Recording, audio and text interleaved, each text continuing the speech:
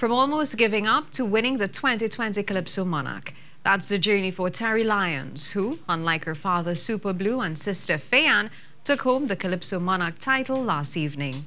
She beat 11 Calypsonians to become the fifth woman to win the title. Ian Wason has more.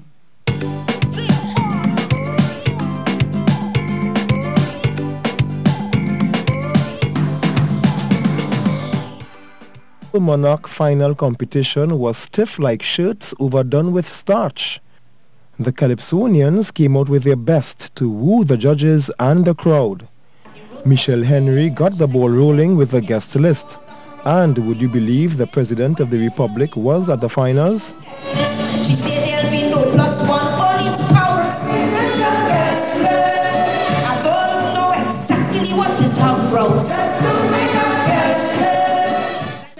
Nine-time monarch Dr. Chalkdust took us to a history class.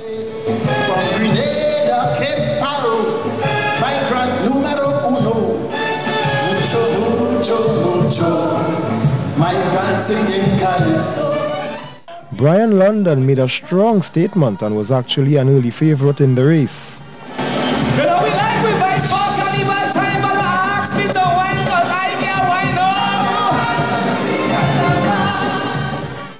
But it was the woman who dominated as Terri Lyons brought down the roof with her rendition of Megan My Dear.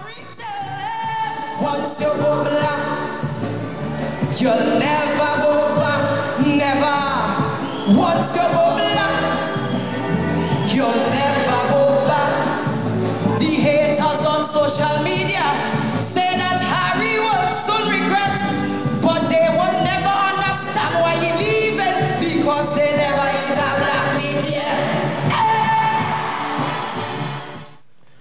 2011 winner Karene Asche came in second. One thing in life that you must avoid, guaranteed to drive you paranoid. Negative people, oh gosh, negative people. Heather McIntosh completed an all-female top three, who were all daughters of Calypsonians.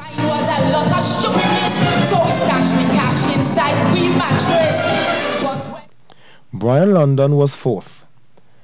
After she was crowned, the new queen revealed she was not even going to enter anything this year.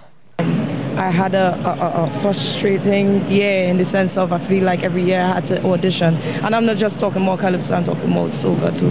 So I was actually was going to give it a rest, but I say, you know what, I have a determined spirit and I decide to go forward with it. And I just want to say thank you to all that. Um, I mean, I know I'm very calm, and that is just my personality, but I want to thank my whole team.